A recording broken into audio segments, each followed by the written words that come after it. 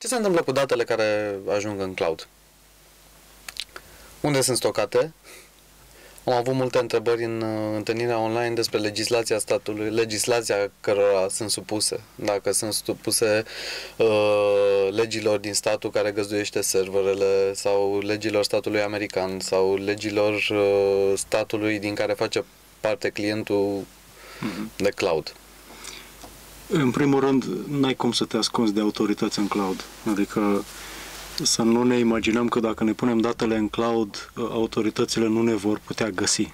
Bineînțeles că dacă uh, sunt urmărit de poliție sau de uh, sunt uh, chemat în justiție, uh, probabil că vor se va putea emite și un ordin judecătoresc la, pentru accesul datelor mele în cloud. Și în astfel de cazuri, furnizorul de cloud este obligat să respecte acele. Bineînțeles că Microsoft verifică astfel de cereri, să vadă dacă sunt legitime și notifică clientul ăla. Domnule client, vedeți că există un ordin judecătoresc, te rog să colaborezi. E bine, în cazul ăsta, ă, de exemplu, în anul 2012 am avut patru astfel de situații, clienți comerciali care au fost căutați de justiție și toți patru au fost notificați și au colaborat. Vă să zic că datele în cloud, în primul rând, da, se duc pe niște servere. Nu e nimic magic în cloudul ăsta. Sunt niște servere în niște data centere care sunt aiurea undeva, de-aia spunem cloud. nu așa? Când vorbim de Europa, clienții europeni au data centerele în Europa, nu în Uniunea Europeană. Ceea ce înseamnă că legislația la care se supune data center-ul este uh, cea europeană. Okay? Asta nu înseamnă că dacă un client este în România, nu trebuie să se supună legii românești. Bineînțeles că se supune. Și furnizorul de cloud respectă asta. Okay? Pe de altă parte, percepția că datele duse în cloud și-au pierdut cumva uh, aparținătorul, să spunem așa, sau că beneficiarul acestor date pierde total controlul, este greșit. Mai mult decât atât, uh, există tot felul de scenarii în care clienții de noștri își țin fie date locale sincronizate cu datele din cloud, fie uh, accesează modele de business pe care noi le numim cloud hibrid. Adică au o soluție sau o, arhitectură de tip de uh, cloud, dar au în continuare și niște servere pe care le țin în infrastructura lor locală. Acestea două fiind de altfel uh, integrate, să zic așa. Ele funcționează ca o singură organizație, de fapt. De fapt, le privesc ca și cum ar fi în aceeași rețea. Cred că totuși cititorii se refereau nu neapărat la legislația în condițiile în care, da, ai făcut ceva ilegal și ești căutat, ci mai degrabă de conexiunea cu cu recentul scandal NSA. Uh-huh uh, vis-a-vis de, de asta. Uh, vorbeam în întâlnirea online că datele sunt criptate. Da. Ce ne puteți spune de, de sunt, modul de criptare? Sunt criptate și în pe disc, adică pe serverele respective și în drum spre discul respectiv, ceea ce înseamnă și în drumul lor prin internet. Acum, este drept că dacă vorbim de scandalul acela mediatic, uh, e nevoie de transparență aici. Uh, bineînțeles că guvernele și autoritățile trebuie să respecte aceste reguli pe care le impunem oricărui guvern, nu numai a Statele Unite, orice guvern, orice autoritate din orice țară trebuie să treacă prin acest proces. Dacă vrea acces la datele clienților noștri, trebuie să producă aceste documente, ori din judecătoresc sau cel puțin o citație. Pe baza citației se poate da acces doar la informații despre client, nu la datele sale. Acum, despre client însemnând adresa de facturare, da, din ce țară e, de, de la ce IP a intrat, din și așa mai departe, când uh-huh. a mhm. folosit ultima oară serviciu, deci despre asta vorbim. Uh, legat de speculațiile din presă, majoritatea sunt false, adică nu există nicio înțelegere secretă, magică între autoritățile Statelor Unite și furnizorii de cloud ca ei să aibă acces necondiționat. Nu există așa ceva. Că unele agenții fac analiză a datelor care circulă pe net, se uită ce se întâmplă pe Facebook, pe Twitter, asta e altceva. Ok? Asta nu înseamnă că ei au acces necondiționat la datele clienților noștri din cloud. Și închei aici, fiindcă e foarte important să înțelegem cu toții asta. E totuși un termen general, cloud. Uh-huh. Aș vrea să ne spuneți ce înseamnă mai exact cloud-ul în versiunea Microsoft.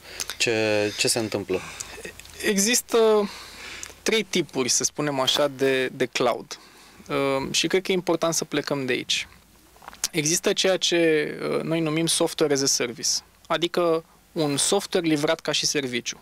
Și aici putem include ca și exemple de la Office 365, CRM Online în cazul uh, Microsoft uh, sau alte soluții din piață gratuite, cum ar fi uh, mail-uri gratuite gen Yahoo, Hotmail, Outlook.com și așa mai departe.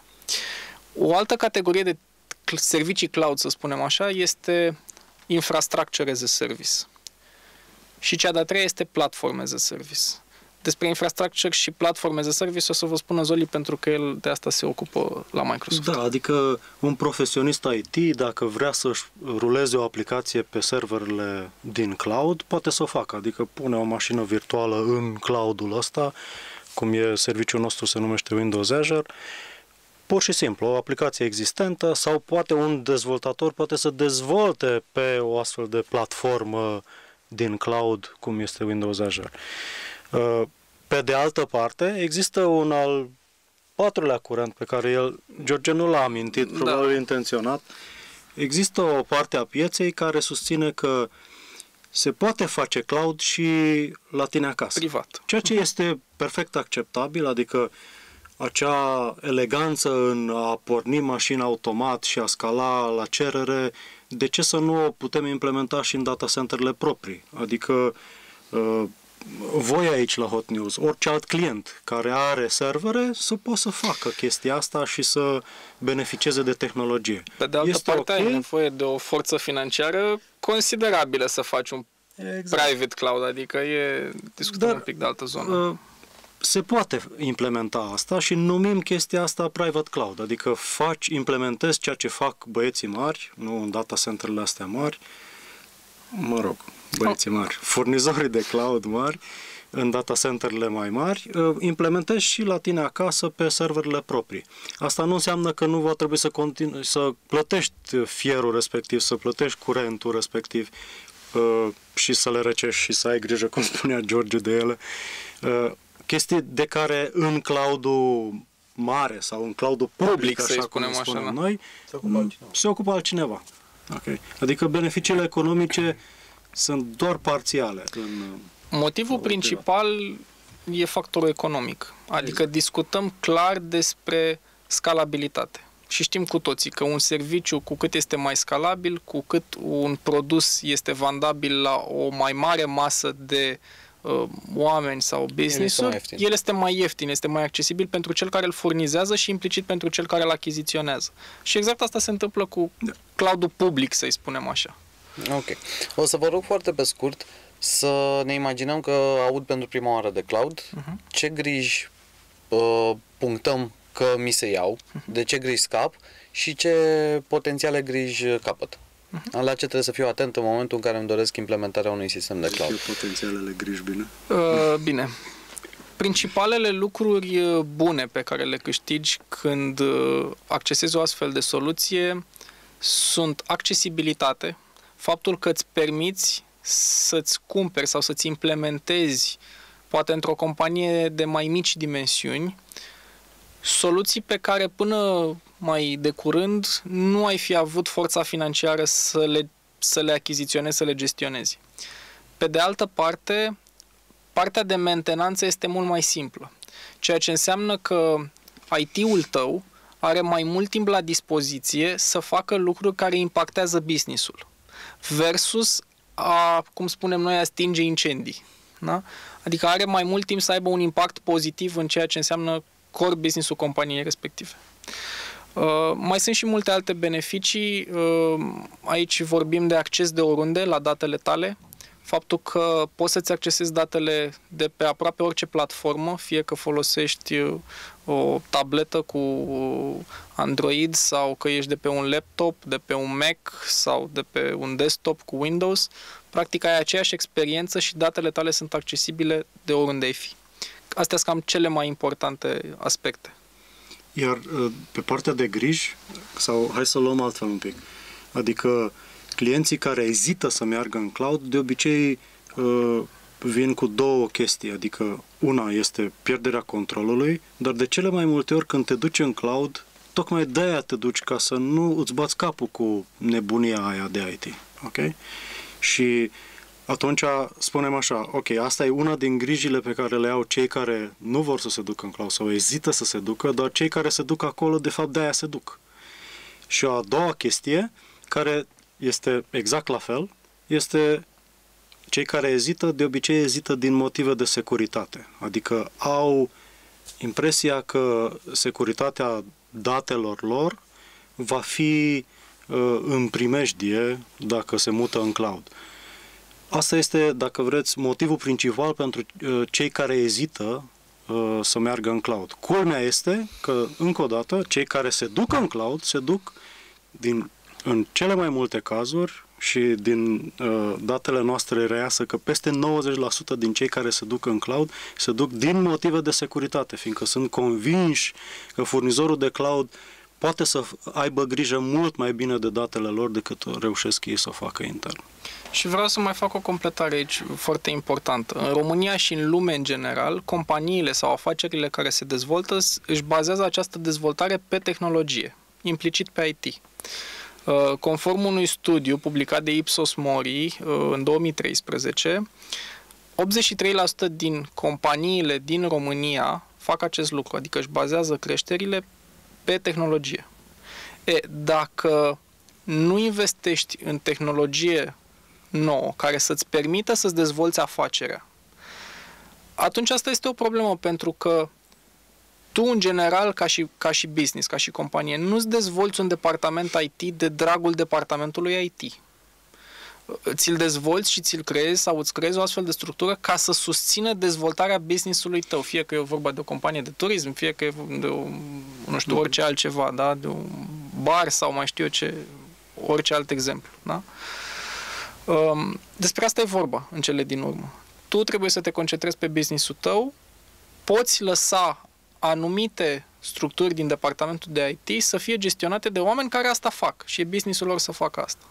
Aș mai vrea să adaug o, doar un gând la, la ideea asta de tehnologie nouă și are oarecare legătură și cu partea de securitate. Uh, de obicei, când vorbim de aceste aplicații, ele sunt software-uri, nu? O astfel de soluție are o față care apare la, pe calculatorul utilizatorului, nu așa? Și acea interfață accesează probabil niște chestii care sunt pe servere, undeva în backend. Ei bine, securitatea unui astfel de ansamblu ține de cea mai slabă verigă. Dacă veriga de pe, din brațele utilizatorului este o chestie veche și îmi vine acum în minte, fiindcă oarecum obsedant și de la ultima întâlnire a noastră, dacă, de exemplu, uh, în brațele utilizatorului este un Windows XP, care e o tehnologie de 12 ani, ei bine, da, securitatea este dată de acea verigă slabă. La fel, de, dacă folosim uh, tehnologia Office, de exemplu, Office 2000 3, 3 care, să zicem, da. da.